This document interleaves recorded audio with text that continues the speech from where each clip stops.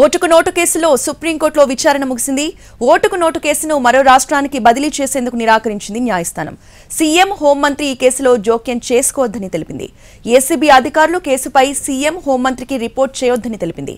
ఈ కేసులో సీఎం హోంమంత్రి జోక్యం చేసుకుంటే పిటిషనర్ మళ్ళీ సుప్రీంకోర్టును ఆశ్రయించవచ్చని తెలిపింది న్యాయస్థానం.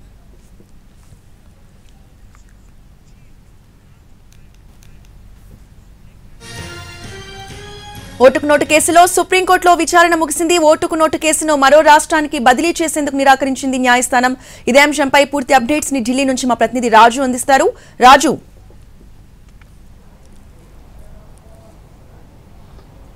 ఎస్ రోజా ఓటుకు నేటు కేసుకు సంబంధించినటువంటి వ్యవహారంలో ఇక సుప్రీంకోర్టులో విచారణ ముగిసిందని చెప్పుకోవచ్చు. వాస్తవానికి ఎప్పుడైతే అంటే తెలంగాణ ముఖ్యమంత్రిగా రేవంత్ రెడ్డి బాధ్యతలు చేపట్టిన తర్వాత ఈ ఓటుకు నోటు కేసులో రేవంత్ రెడ్డినే ముద్దాయిగా ఉన్నారు. సో ఖచ్చితంగా అతనికి సంబంధించినటువంటి వ్యవహారంలో అతనే ఓ సి- ముఖ్యమంత్రిగా ఉండడమే కాకుండా హోంమంత్రిగా కూడా ఉన్నారు.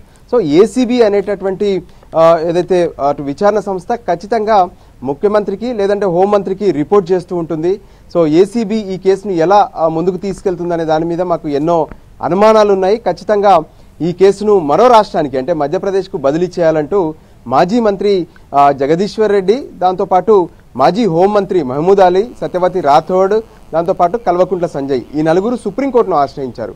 ఈ కేసును మరో రాష్ట్రానికి బదిలీ చేయాలని చెప్పి.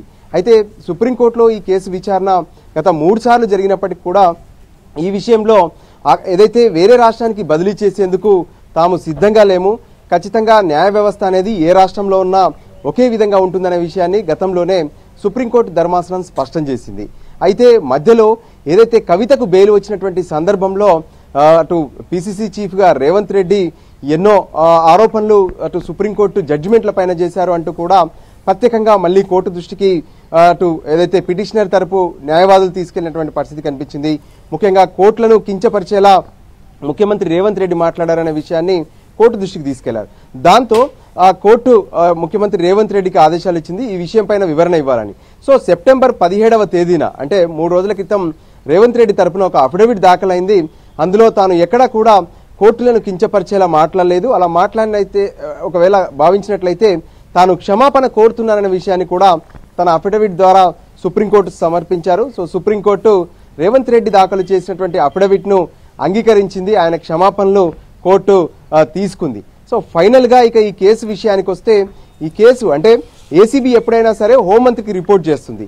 కానీ ఓటుకు నేటు కేసుకు సంబంధించినటువంటి వ్యవహారంలో ఏసీబీ డీజీ ముఖ్యమంత్రికి కానీ అంటే రేవంత్ రెడ్డినే ఇక్కడ తెలంగాణలో హోంమంత్రిగా కూడా ఉన్నారు. సో హోంమంత్రికి కానీ తను రిపోర్ట్ చేయొద్దు అనే ఆదేశాలు ఒకవైపు ఏసీబీ డీజీకి జారీ చేయడమే కాకుండా ముఖ్యమంత్రికి హోంమంత్రిగా ఉన్నటువంటి రేవంత్ రెడ్డి కూడా ఈ విషయంలో ఎక్కడా కూడా జోక్యం చేసుకోవద్దనే విషయాన్ని స్పష్టం చేశారు. అంతేకాకుండా ఏదైతే ఈ కేసుకు సంబంధించి గతంలో ఎవరైతే ప్రాసిక్యూటర్ ఉన్నారో అతనే కొనసాగుతారనే విషయాన్ని కూడా స్పష్టం చేశారు.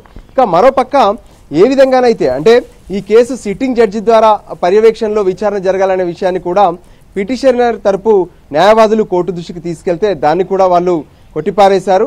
సో మొత్తానికి ఈ కేసులో ముఖ్యమంత్రి రేవంత్ రెడ్డికి ఊరట లభించడమే కాకుండా సో ఈ కేసు వ్యవహారంలో మాత్రం తాను జోక్యం చేసుకోవద్దు. అదే సమయంలో ఓటు కే ఓటుకు నోటుకు సంబంధించినటువంటి ఈ కేసును ఎప్పుడూ కూడా అటు ముఖ్యమంత్రికి కానీ హోంమంత్రికి కానీ రిపోర్ట్ చేయొద్దన్న విషయం పైన వాళ్ళు స్పష్టంగా అటు ఏసీబీ అధికారులు ఫాలో కావాల్సి ఉంటుంది. ఒకవేళ ఇందులో ముఖ్యమంత్రి కానీ హోంమంత్రి కానీ జోక్యం చేసుకుంటే మళ్ళీ సుప్రీంకోర్టును ఆశ్రయించవచ్చు అని చెప్పి పిటిషనర్కు సైతం ఈ విషయంలో అటు సుప్రీంకోర్టు స్పష్టం చేసినటువంటి పరిస్థితి కనిపిస్తుంది. Roja. Right. Thank you Raju.